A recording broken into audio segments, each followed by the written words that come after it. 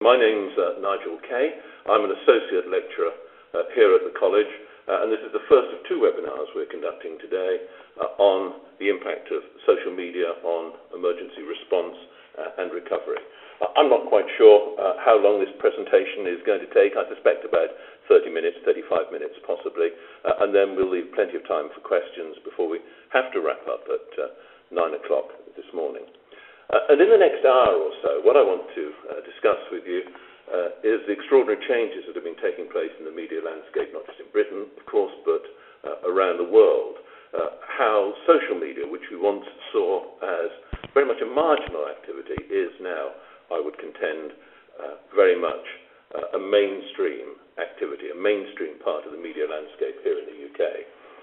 and I want to raise with you a number of questions about what this means for communications culture in our organizations, how we organize uh, the communications function.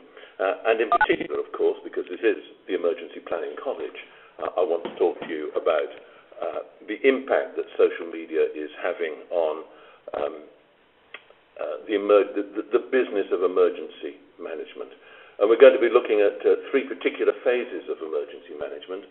We're going to be looking at preparation for emergencies, our responsibility to, to warn and inform, we're going to be looking at uh, the response phase, uh, the impact that social media now is having on uh, emergency responders, uh, and I'm going to look at the three M's, uh, the value of social media as a myth-busting tool.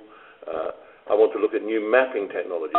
We build a better picture of what's taking place on the ground using social media. and I want to um, look too at some of the monitoring tools that are that are available now to um, us uh, to use to find out what people are saying about us, our organizations, and the way we are responding to uh, emergencies. Uh, and finally, I want to look at the recovery phase, how we help people recover from emergencies. And I think it's a, role of social media which has been not discussed a great deal up until now. I want to look at the role of Facebook and possibly Twitter too in that recovery phase. Uh, that's what I want to try and get through during the course of the next half hour or so, and as I say, allowing plenty of time for discussion. Uh, but first, let me ask you uh, a question, a rhetorical question, uh, I have to say. Imagine that you were um, a young woman, uh, 13 or 14, out with your friend uh, on the beach in South Wales, and you've misjudged the tide. The tide is coming in, not going out, and you find yourselves trapped on the rocks. The question is, you've got a mobile phone, uh, what do you do?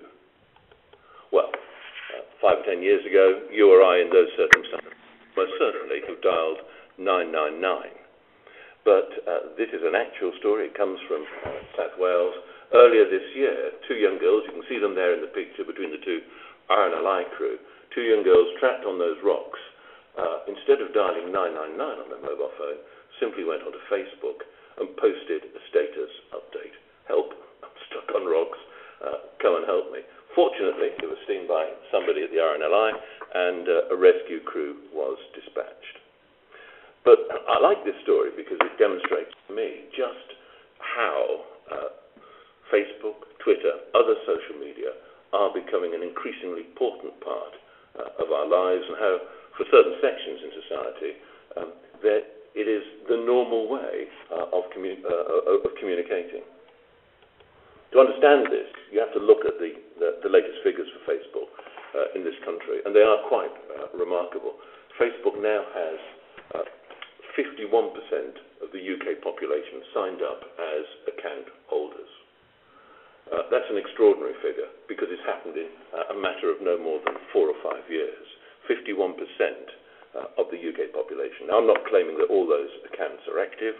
Some of them will certainly uh, be redundant, and some of them may well be corporate accounts too. But uh, all the research by Ofcom and a number of other organisations points to the fact that more than half the UK population are now familiar with and use social media, including primarily Facebook. And what's driving this take up of Facebook is the introduction of smartphone uh, technology. Again, this is data from uh, Ofcom, published last year. 27% of adults last year owned a smartphone, 47% of teenagers. And what's significant about these smartphones is their 3G capability, their, their uh, ability to connect us with uh, the internet. Uh, Ofcom described in its report the UK uh, as a nation addicted to smartphones. What are the symptoms of this addiction? Well, you probably recognize them yourselves. These are people who uh, use smartphones during meetings uh, to uh, text and um, talk to friends on Twitter, people who use them at the meal table, people who take them to the bathroom with them. Uh, these are the symptoms of smartphone uh, addiction. Uh, and as we now know, of course, Uh, Apple uh, announced plans uh, a couple of weeks ago to introduce their latest iPhone with 4G capability, and we now know that one of the big UK networks, EE, are about to introduce 4G technology, which will make, I suggest, the use of smartphones for uh, communications other than making phone calls almost ubiquitous uh, in this country. Um, here's some more research from Ofcom which demonstrates how the communications picture is changing in the UK. Uh, only 18 months ago, 71 megabytes was the figure for uh, monthly data use on average by UK smartphone consumers. Uh, that has doubled in the 18 months up to January 2012, 140, 100, sorry, 154 uh, megabits a month. You can see the extraordinary growth in the use of smartphones and their use to access uh, digital information. And here's a slide from Ofcom which uh, shows uh, another set of interesting trends. This is their, part of their analysis of how people use all telecoms services. Uh, and what's interesting here is that uh, there's been some increase, just over 5% increase in people using accessing social networks on uh, PCs and, laptops. But the really big increase uh, in proportional terms on the right-hand side of that slide is the number of people accessing uh, the internet via their mobiles. This supports the data we've just seen. Interestingly, I don't know, it's not my experience, it may not be yours, but that, bar graph in the middle there email on PCs. Email is falling. Actually, the amount of email being sent on PCs is falling, down by down by 20%. And I suspect that honestly reflects the fact that people are now using social media rather than email uh, to communicate with uh, one another. Uh, and Ofcom has done some research into how we communicate with our friends uh, and family. 58% of us use are sending text messages at least once a day to to friends and family. I find it extraordinary that only 49% of us are having face-to-face conversations with friends and family. But look at that figure for social networking. 32% of us now using social networks to communicate with friends and family uh, during the day. That's more than the number of people using conventional fixed line, fixed landlines. Only 29% of us now use conventional phone during the day uh, to talk uh, to friends and family social media has overtaken uh, landline phones, but it hasn't yet caught up with uh, text messaging. What are people doing on their mobile phones? Again, from Ofcom, this market study they did last year, this confirms the preeminence of Facebook as uh, the number one uh, social media site uh, in the UK. Uh, don't worry too much about the figures on this slide. Uh, just look at the relativities. But Facebook is being, uh, well, let me put it this way. People in the UK spend two and a half billion minutes a year on Facebook, and that was as of December 2010. So we're nearly two years on from that. Uh, and they far outstrip, in terms of popularity, uh, all the other sites that people are accessing on their mobiles, like Google, Yahoo. For me, as a former BBC journalist, it's good to see the BBC up there. But really, you know, this is uh, this is the only uh, what I would call conventional journalism site in this list, BBC, uh, and it's way, way, way below uh, Facebook and Google. And I suspect a lot of that that viewing of BBC sites, is not even news either. It may well be people using uh, iPlayer, accessing iPlayer on their mobile phones. So what we're seeing here is a pattern where uh, social media is, as I say, moving from the margins uh, into, uh, into the mainstream. Who are the people who are doing it? Well, in the main, as we know, it's younger people. Uh, this figure suggests, let me say as an aside, Socialbakers, where this data comes from, is a really useful site. Uh, if you want good quality analytics about uh, the impact of social media, go to Socialbakers. It's free. There's a hell of a lot of information uh, about uh, individual countries, about individual cities as well. Uh, this is uh, this is their age breakdown in terms of users, and what you can see is that almost half of Facebook users in the United Kingdom are aged between 24 and 34. But it's not entirely a young person's uh, medium at all, because a third of those, you know, the next three groups, a third of Facebook users are aged between 35 and 64. So it's a third of Facebook users uh, I would describe as, uh, as uh, early to, to, to mid mid aged, uh, 35 to uh, to 64. So it's not entirely, by any means, a young person's medium. there is a slight uh, skew towards uh, women users, slightly more women users than male users, but um, maybe that uh, doesn't surprise you. What about Twitter? Well, The Guardian is my source for the data about Twitter.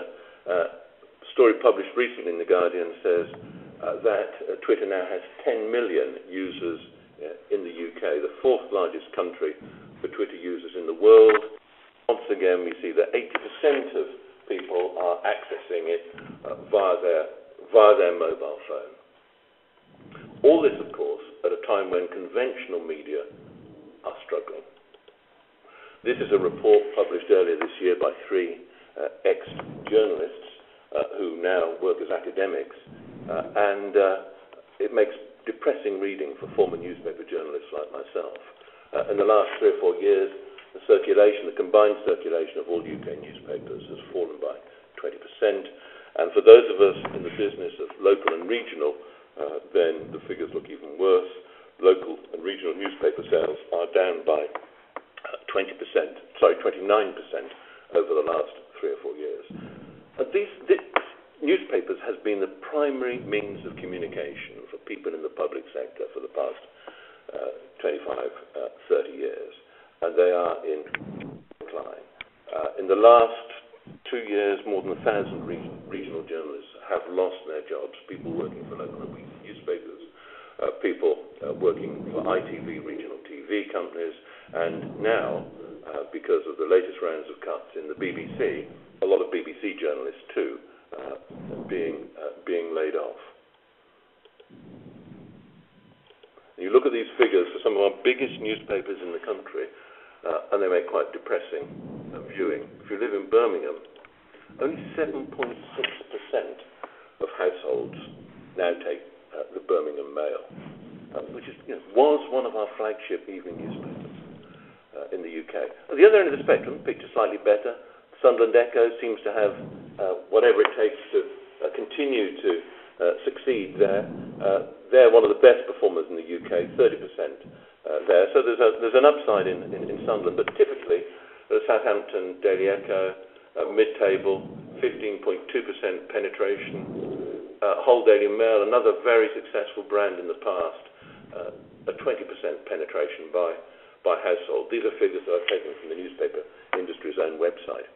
Interestingly, I was having a conversation with a couple of years ago with some colleagues in Southampton working for the city council there, uh, who were looking at how their communications team was structured. Uh, and at that time, uh, they calculated that the uh, penetration of the local evening newspaper was about 19%. It was going into 19% of the homes in the city. But they were devoting uh, rather more than 45% of their total resources to dealing with the evening paper on a, on a daily basis. Uh, and the challenge for them, as they saw it, was how they switched resources from dealing with traditional, conventional media, like local newspapers, uh, to the new and emerging digital media, like Facebook uh, and, and Twitter. Uh, I've mentioned local radio. I ought to say that um, uh, reach to BBC local radio stations in England is falling. It's now down to 19%. It was anywhere between 22 and 25%. uh, and this is a, a, pattern that's being replicated across most of uh, most of the UK. That's weekly reach. So 19% of the adults in the UK uh, listen to local radio for a period of at least half an hour uh, once a week. That's what that that's what that tells us. It's not a huge figure. Uh, regional TV holding up pretty well actually. Most regional TV programs are the most popular news programs on television in their area. Uh, BBC nightly news programs like Look North, where we are here in Yorkshire, have a 28% of the TV audience at that time of the evening, pretty good share. Uh, and uh, for ITV programs, typically their share is 20% of the audience at that, at that time of the evening. And that translates for your typical uh, regional TV news program into an audience of about uh, half a million, but clearly it depends on the size uh, of the region.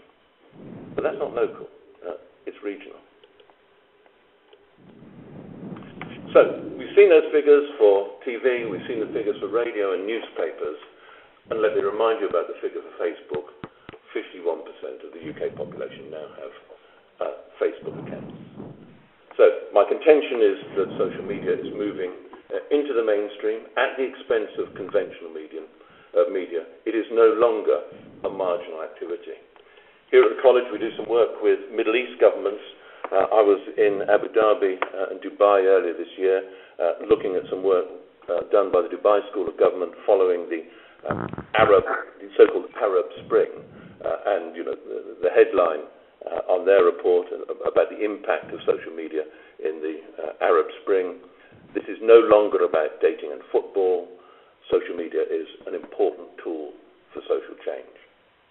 Uh, and it's exactly the same. Uh, governments around the world are coming to the same conclusion.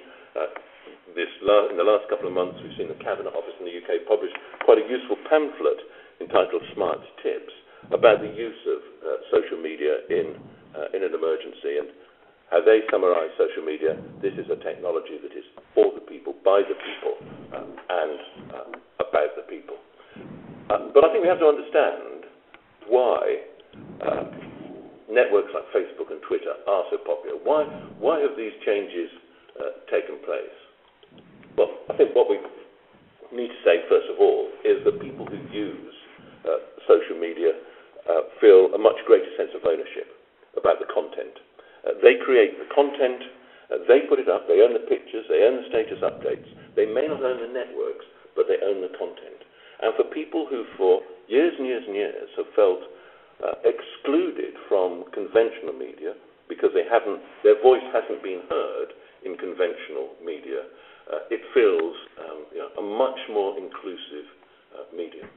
Uh, it's very accessible, uh, as we know. Anyone who uses uh, Facebook or Twitter knows how easy it is to set up ca- an account uh, and, and, and, to start uh, communicating with your, uh, with your friends and with people who live nearby. Uh, and it's pretty cheap, actually. I'm, uh, my iPhone contract costs me uh, £10 a month now. It's gone down from 40 quid. It's now only 10 quid a month. well, that's um, actually cheaper than my daily newspaper. It's on a par with my TV license fee. It's, it's not expensive. I can't give you uh, uh, any accurate data for uh, this trust factor. But what we know and what people claim is that there are much higher levels of trust in terms of the messages that people receive on social media than in almost any other um, form of, of media. Um, it's as high, some people say, as 75%. And this is all about this is all about uh, user recommendation, about peer recommendation. This is about the business model that's enabled Amazon to become one of the world's leading businesses, or eBay. They've developed new trust systems based on personal recommendation. And people believe, to an extraordinary degree, what their friends and colleagues are telling them on Facebook and on Twitter. They trust it. Uh, it's very quick, and as we know in the field of emergency management, increasingly people are finding out about the big things that happen, the big events that happen. They're finding out about these things on social media rather than conventional media. And as we know only too well, uh, many organizations who find themselves uh, in the middle uh, of an emergency uh, often the first intimation comes to them now through social media and not through uh, formal channels. And the big point to make here as well is that social media is, is two-way. Uh, it, uh, it appeals to people because uh, they can have a conversation, they can have a dialogue. Uh, and I think that from our point of view as emergency managers, uh, we really have to understand the importance of uh, the value of this two-way process, the ability for us to build a much better picture of what's happening on the ground in an emergency, because we have at our disposal potentially hundreds, if not thousands, of eyewitnesses, all of whom are contributing to a much fuller picture of, let us say, what's going on uh, on the ground. So that's why I think networks are, and social networks like Facebook are so popular, and why I think these big changes uh, are taking place in the way we communicate. Uh, and this was picked up last year after exercise watermark. This will be uh, this will be an exercise that some of you today will be familiar with, may well have taken part in. This was a UK-wide uh, flooding uh, exercise, a simulation of flooding, uh, and um, uh, the report published by the watermark team after the exercise makes really interesting reading from my perspective. Uh, because for the first time, uh, someone in government is saying uh, there is now a persuasive case for the use of social media. two main arguments for that. One, it bypasses conventional media. We no longer have to rely on local newspapers, local radio to get our messages out. We can talk directly to the people involved in an emergency uh, through social media. We can influence the way that they behave uh, in terms of uh, preparing them for evacuation, helping to evacuate them, uh, do whatever else is necessary, uh, talking to them directly using uh, social media. And because, as I say, of this two-way uh, information flow, uh, it's possible for, possible for them as well to tell to tell us what their priorities are in the, in the communities which are most severely affected by uh, any particular emergency. And the Watermark team go on in their report to say this. They recommend that all government departments and emergency responders assess social media capability and think about removing any barriers so they can start to lead the way in social media conversation. This is about introducing a social media culture into your organizations now before uh, the emergency happens. Uh, a personal aside, I go into many public sector organizations during the course of the year on behalf of the Emergency Planning College, invited in to do social media training. Uh, frankly, uh, it's very frustrating. Uh, normally, about two days before I go, I ring up the local IT department, uh, ask them to make sure that I've got access to the network when I get there to do the training. Uh, that in itself can sometimes be a challenge. But the really frustrating thing is when I plug in my laptop, turn it on, uh, I find that even though I'm there to do social media training, I can't access any of the sites uh, that I need to Facebook, Twitter, YouTube, whatever. And I understand the reasons why, uh, but I think this is uh, an illustration of the kind of change that uh, the exercise watermark team were looking for when they said we need to remove the barriers and start to lead uh, the way in, the way in, in social media conversation. Because for emergency planners and emergency managers, there's a real challenge here. We have traditionally relied on a model of command and control, which assumes that uh, we can respond most effectively to uh, an emergency uh, if we build up a really good picture of what's taking place. If we, if we have a really good flow of information coming in, can respond to that information and react in, an appropriate way. And of course, what we're finding now is we no longer have a monopoly uh, on that information, either on the way it comes in or the way it's distributed. Our messages may be lost among all the other messages that are going out from people who are actually involved in the emergency, eyewitnesses, bystanders, people stuck in their homes or whatever. And command and control simply doesn't work effectively if you don't control the flow of information. And we no longer, I would submit, control that flow of information. So it's a real, real challenge for us. But what's the solution? Well, the solution is to be in there. It's to be in that conversation. It's to be in that debate. It's to be monitoring, listening, uh, and responding to what people are telling us, and to be talking to them on the channels that they use. And increasingly, of course, hope I've made the case now, that is, uh, as well as, I'm suggest, suggesting instead of, but as well as conventional media, we, we need to be using uh, social media. Uh, this was the gist of the paper I referred to earlier, published by uh, the Cabinet Office uh, earlier this year. Uh, you can find it online, I think, on the UK Resilience Uh, website. Uh, and they summarise the benefits of social media for government quite succinctly uh, in that leaflet. The only one point there that I would draw your attention to is that, again, at the bottom, you know, we reduce our dependence on traditional media channels and it's really, really important that we uh, use social media to counter uh, myths, any other inaccurate uh, reporting that develops either in conventional or indeed uh, social media. Uh, I'm going to talk now about um, uh, preparing for emergencies, and in particular about our warning and informing responsibilities under the Civil Contingencies Act. I can only scratch the surface here, but again, a personal story. The, uh, when I was um, affected by flooding where I live in Dorset earlier this summer, uh, and I, at 9 o'clock on the Sunday morning, seeing water running down the road outside, unable to get uh, out of town because all the roads I discovered when I went out were, were, were closed, uh, did I, where, where, where, did I get the best information from? Unquestionably, uh, from uh, social media both official and unofficial sources on social media. Draw your attention to, I think, what a great site and a great service, the Flood Alert service developed by the uh, Environment Agency in partnership with uh, a private company. Uh, I was receiving, once I'd logged on and, uh, and subscribed to the service, regular email and Twitter updates on uh, the flooding situation in my area, really very detailed, down to within 100 metres of uh, my house. Uh, and uh, if I logged on at home, really accurate and very helpful maps about which roads were, were closed and weren't. I think um, this is a very good, uh, the flood alert site is a very good uh, service indeed.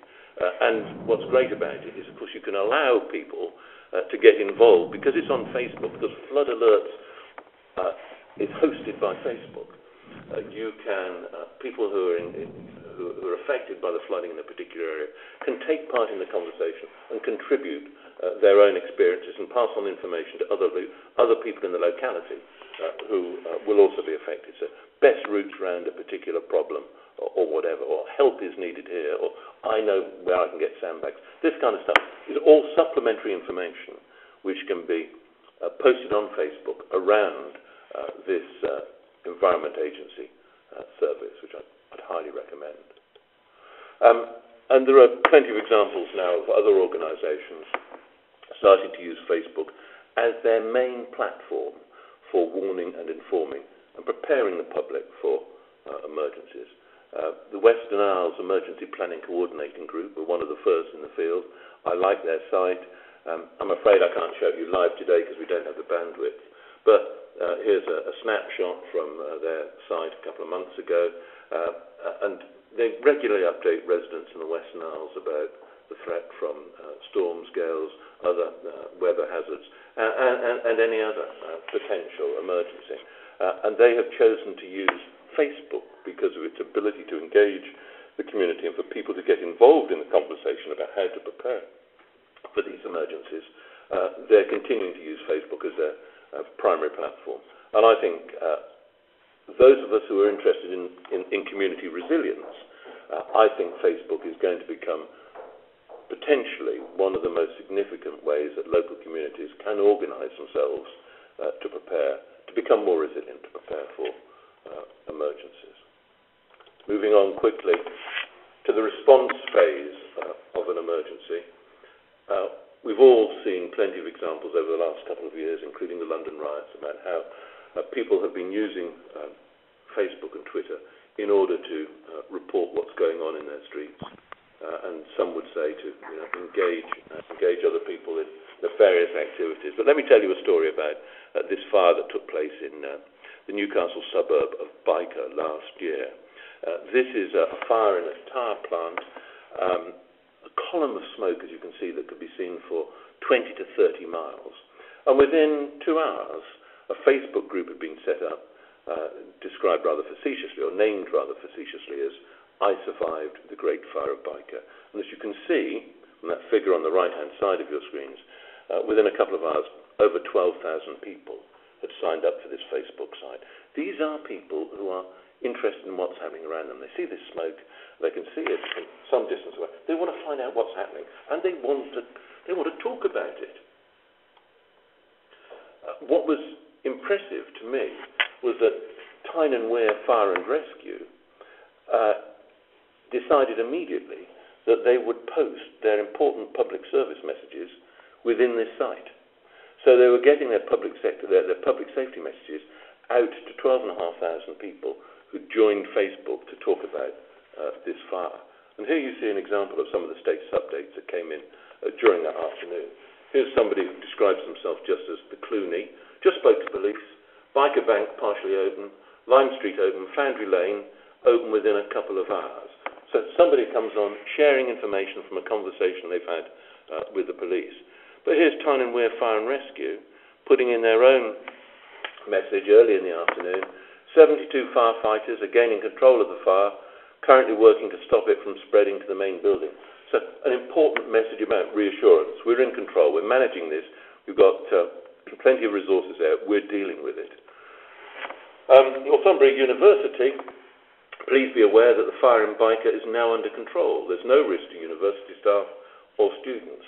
So another big local organisation deciding that Facebook is the way they're going to communicate with their stakeholder groups and get these key messages out about, in their case, uh, the fact that there was no disruption to university uh, services. Uh, Tyne and Wear Fire and Rescue again, we're using a special appliance to pump water from the Tyne, as well as local hydrants to put the fire out quicker. So keeping people up to date with how the uh, firefighting operations are, are going. Uh, somebody else uh, anonymous, uh, posts a status update saying fire crews have the fire under control and are expected to be at the scene into the night, and they've asked crowds to disperse to get rid of some congestion. There have been no deaths and only one minor injury. An excellent job by Tyne and Fire and Rescue Service. So praise from somebody anonymously for the services provided by Fire and Rescue, and they've provided a link uh, to the Tyne and uh, Fire and Rescue website talking to Tyne and what was really interesting is they got masses of these congratulatory messages, and they were able to cut them out of Facebook, paste them up, and stick them on the crew rooms when the crews came back at the end of uh, the fire. Uh, and um, one further uh, benefit, they received in the next week 40 applications from people within this group uh, for consideration for jobs as firefighters.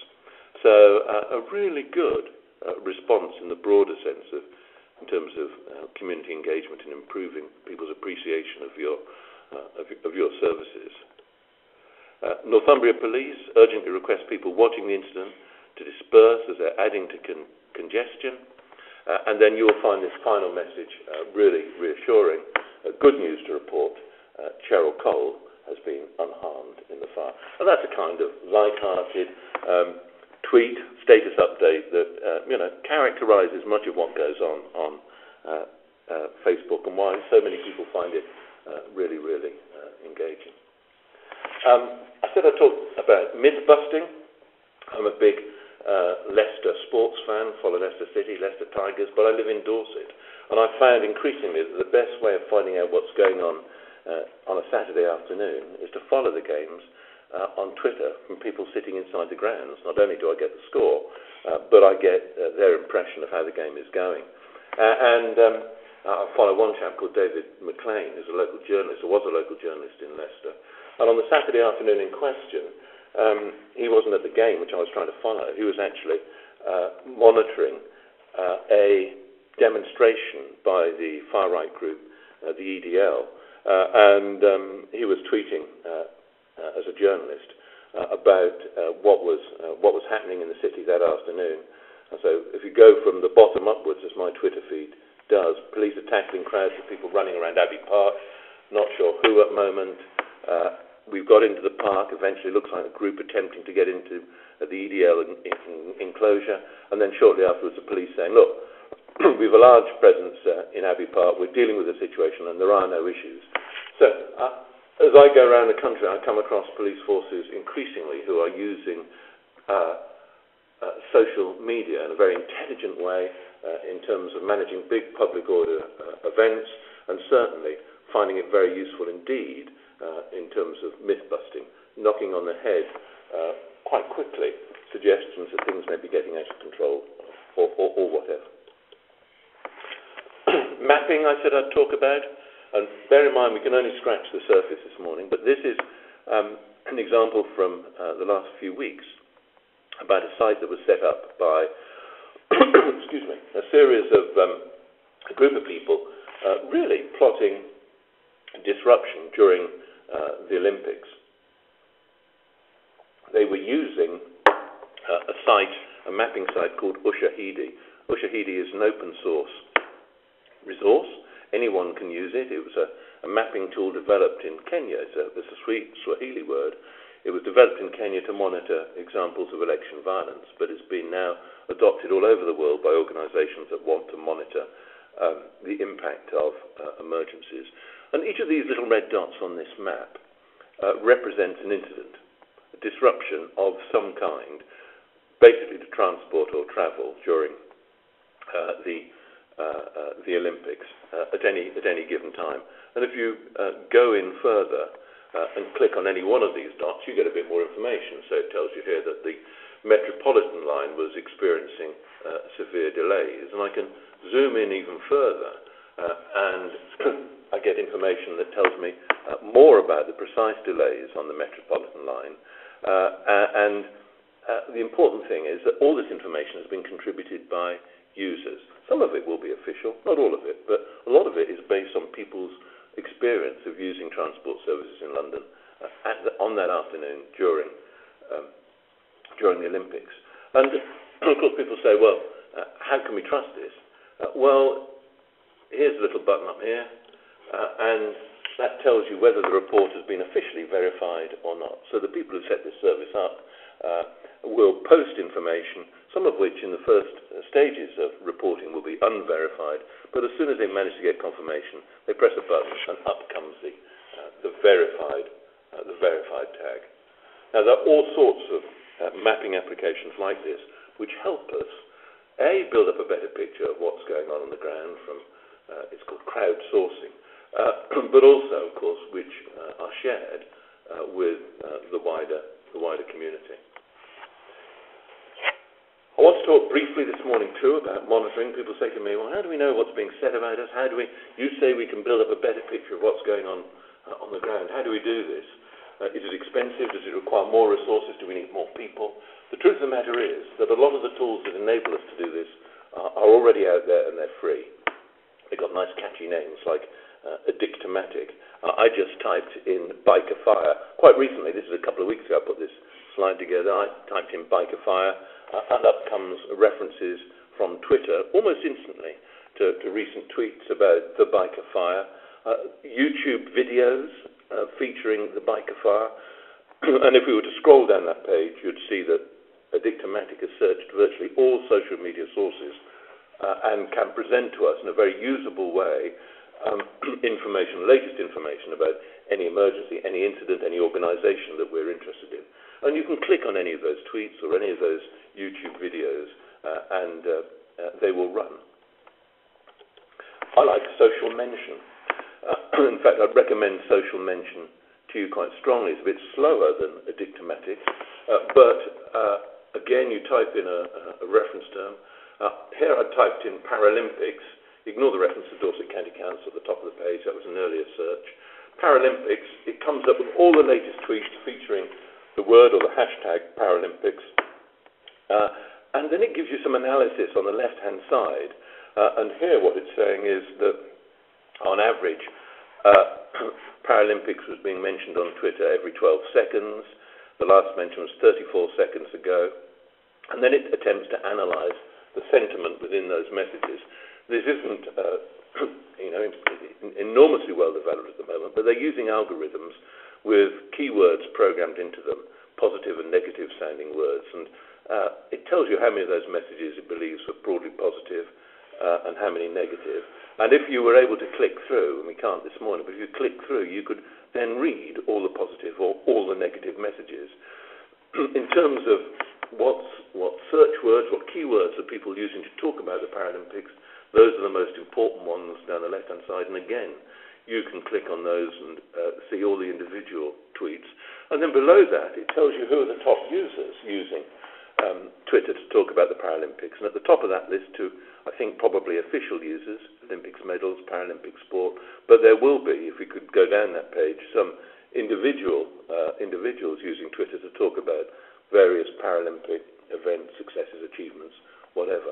This is free. It's developing all the time, and it's a really uh, useful tool uh, and should be at the heart, in my view, of any monitoring operation during an emergency.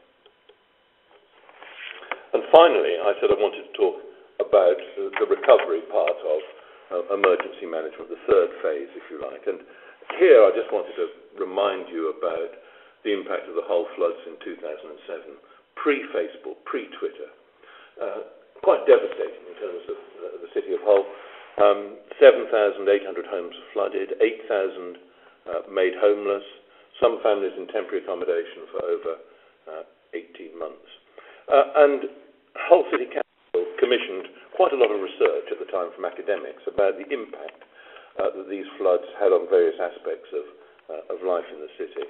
Uh, and what the academics identified was that uh, the that once the emergency services are pulled out, and once people have been rehoused by the local authority, there was quite a gap. Uh, it took up to a year, 18 months in some cases, I'm told, even two years for one or two families, to get these families rehoused. Uh, and what the, uh, they, they labelled this period between uh, the emergency itself and the uh, and um, the resumption of normal services, they labelled that the recovery gap. And they said the gap was characterised for people who lived in Hull by a lack of information, a sense of helplessness. Uh, they weren't, they felt, involved in the conversations that were taking place about how soon it would take to repair their homes. They weren't involved in the conversations about what measures were being put in place to prevent this happening again. Now, I think Facebook, Twitter, are, are ideal tools for enabling us to uh, allow communities to continue to operate as communities, perhaps only in a virtual sense, but to continue uh, to operate as communities despite this widespread uh, disruption. So I think, you know, and this can't be top down, it has to be you know, a grassroots thing. All the evidence suggests that when uh, local authorities, other organizations move in and try and impose top down solutions using social media, they aren't effective. That actually this stuff has to start from grassroots. But that means that we do have a role. It means we have a role in making sure that people have connectivity and that are able to access social media. But my suggestion is, you know, that uh, in this recovery gap, what we would want to see is virtual communities springing up to replace uh, uh, actual communities that have been devastated, uh, allowing people to continue to talk to their neighbours, even though they may be living in temporary accommodation at opposite, opposite ends of the city. That by monitoring what they're saying, by listening to them, we can address that information deficit. We can give them the information they need about uh, how long it's taking to uh, rehouse them. That they can, uh, by being part of this network, achieve a degree of mutual support and, and, and continue to encourage uh, people through these virtual networks, uh, that they can take part in the debate about how the new communities are going to look, what they're going to feel like, what we're going to put in place there, and most importantly, of course, we can give them a voice in uh, the, the, the, wider, the broader debate about uh, what uh, plans we're going to put in place to make sure that this uh, can never happen again. Now, this is a piece of work uh, that still needs to be done. It hasn't been done yet. Um, uh, as I look around, not just in the UK, but in other countries around the world, people are starting to use social media in very intelligent ways, very responsive ways in emergencies, certainly for warning and informing, certainly for responding to emergencies. But I don't think yet that we're starting to address the possibilities of social media in this recovery phase. So that's work to be done and work that uh, we at the college would uh, dearly like to be involved in. As I said, I can only you know, scratch the surface here. We've talked, we haven't talked at all today about YouTube, uh, which is the second most used search engine in the world. I think video will be the next big thing on social media. People, I mean, every every decent mobile phone now has its own camera. People uh, are telling their stories using video, posting it to YouTube, uh, posting it uh, to uh, uh, platforms like Socialcam, uh, and, and, increasingly they're not just using videos in a recorded form. They're, they're telling their stories live as well, and we now know that um, quite a lot of people um, involved in uh, public order events are, are broadcasting uh, their, their activity live uh, on uh, platforms like Ustream uh, and others, and this is beginning to change the dynamics of, uh, of public order events. The live reporting of what's happening by people using their own their own smartphones. So there's a big piece of work to be done there too. And I haven't either today mentioned the importance of GPS the fact that every smartphone has a, a GPS chip which, ena- which, which, enables us to track people, but importantly, uh, for people to organise themselves on the ground. And we now know that demonstrators during a number of big events in the UK uh, recently have been using simple marketing tools like Foursquare, which are really, frankly, only intended to sell coffee. Uh, tells you where the nearest Starbucks is. actually, people are now using that to organise themselves at public order events uh, and to try on occasions to outflank uh, the authorities by uh, you know, breaking away from marches and reforming elsewhere. And they're using social media in order to coordinate that. Big piece of work to be done there as well. Um, we at the college uh, want to work with organisations like those that are represented this morning. Uh, we have uh, a number of ways in which we can work with you. We do a social media workshop here, a day-long course. we do um, uh, a broader media course with a lot of social media content. Uh, we can deliver these courses uh, either here or uh, increasingly popularly uh, at your place. Uh, perhaps you belong to a local resilience forum. we can we can work with you as a team within the local resilience forum. We'll come and tailor courses for you, and we'll even do consultancy for you. Um, so we're keen we're keen to be involved if we possibly can. Uh, I'm going to leave these um, contact details up on the screen for a little while. Uh, as I say, this presentation has been recorded. You can go back to it and uh, watch it, I hope, in a day or two's time on our uh, Emergency Planning College website. You can get in touch with me via Twitter or via email, or you can contact our sales team here uh, at the Emergency Planning College.